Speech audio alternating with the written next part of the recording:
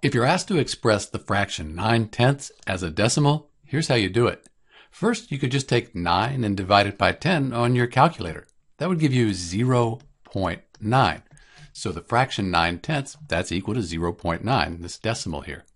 We could also do this longhand. We could take 9 and we could see how many times 10 goes into 9. So we're dividing 9 by 10. Doesn't go into 9 right now, so let's say 0 point, and we can make this 90. 9 times 10, that's 90. So when we talk about 9 tenths as a fraction, it's equal to 0.9 as a decimal. And that's what we found on our calculator. We could also check our work here.